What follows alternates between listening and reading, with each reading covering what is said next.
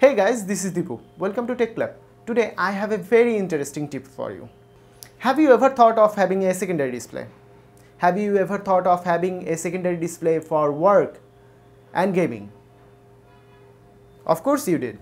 But let's say you don't have the money or the space to add another monitor beside your primary one. What would you do? Today I am going to show you guys a way that you can add a secondary monitor to your computer without any problem. Nowadays everyone has mobile phones. It doesn't matter if you have a Android or iPhone. It will work on both of them. I'm going to show how you can use your old Android phone as a secondary display to your computer. So let's do it. First open Play Store, then write Xdisplay Word then install Xdisplay splashtop wired X display. Wait for it to complete. Okay it's done. Now you have to open this software. Accept.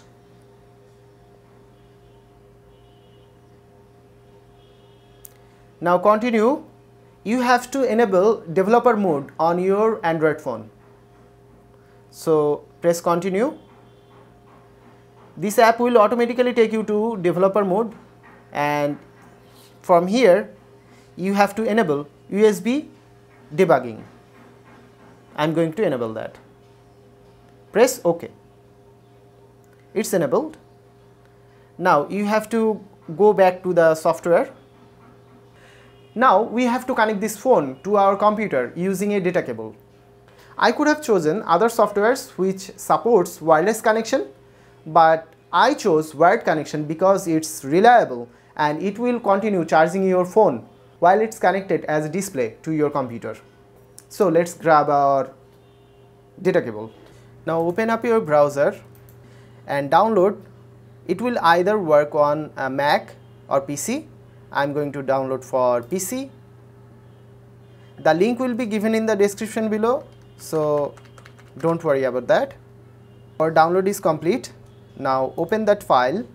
Install it on your computer.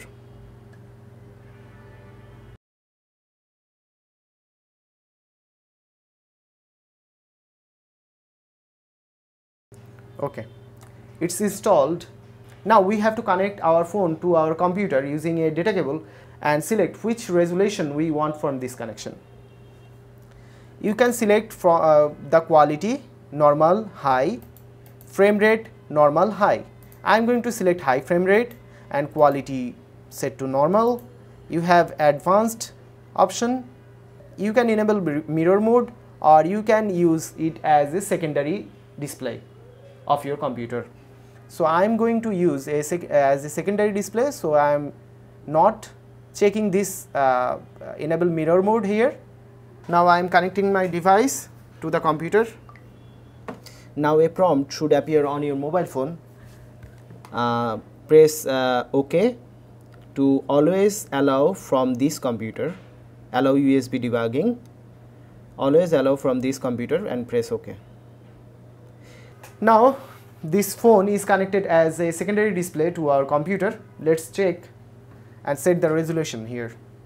Click right button on the desktop go to display settings. Now you can see we have two monitors here. First one is 1680 by 1050 which is this monitor and the second one is 1920 and 1080p this phone's resolution is better than my monitors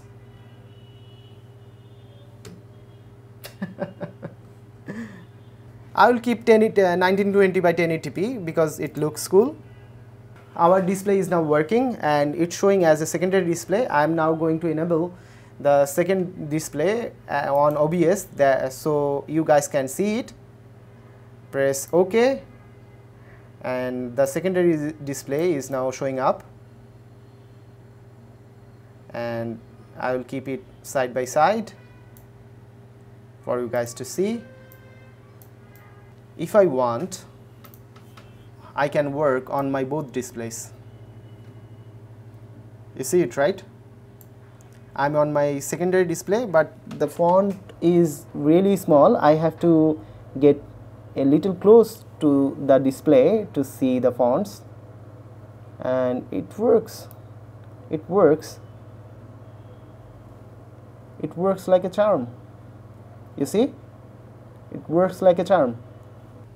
I'm going to play Rocket League on my phone as a display connected to my computer.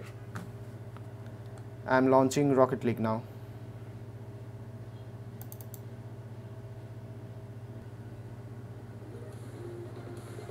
Okay. Now I have to enable my secondary display. For that I am going to drag Rocket League to that part of the display.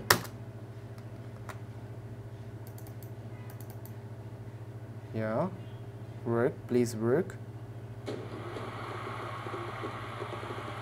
It's working. You guys can see that. Rocket league is now running on my phone. And it's connected as a display to my computer. I have only one minute trial left. So I'm going to play this game first.